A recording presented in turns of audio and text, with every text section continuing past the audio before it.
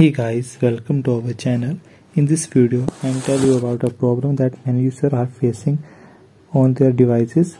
So if you are getting this problem that the uh, test page failed to print, would you like to view the print or troubleshooter for assistance?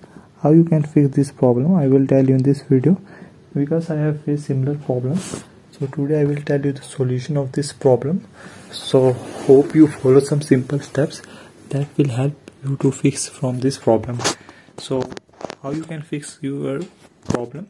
There are two methods to fix this problem. In the method number one you need to update the driver of your pc from v3 to v4 and after updating your driver of your pc your problem will be solved. In maximum cases this will help you to fix the problem.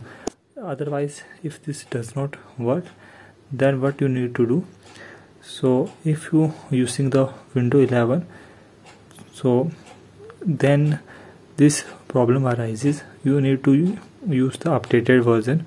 So I have accidentally updated to window 11 and I rolled back to window 10 and the HP gave the exact error you mentioned.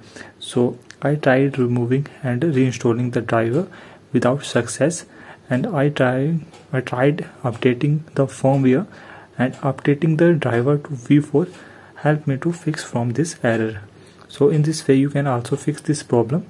And if you have any query you can simply tell us in the comment section of the video. And for upcoming updates you can subscribe our channel. So that's it for today. Guys hope you support our channel and share this video